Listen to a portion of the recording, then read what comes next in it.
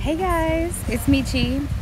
Thank you guys so much for your support and actually trusting me with your time, your vacation dollars, and more importantly, just you. Um, I am completely sold out of all of the king rooms that um, are ocean view. The only thing that I have left is two twin rooms that are ocean view and two garden view, jungle view rooms. Those of you who attended my previous retreats for my celebrations here in Vallarta, you know that there's something special. Absolutely amazing. And I know, I, I mean, honestly, I put all of my self into them. So they're special. And I'm only doing one next year because they are so special and they take so much of me to do. So if you're interested, complete the form.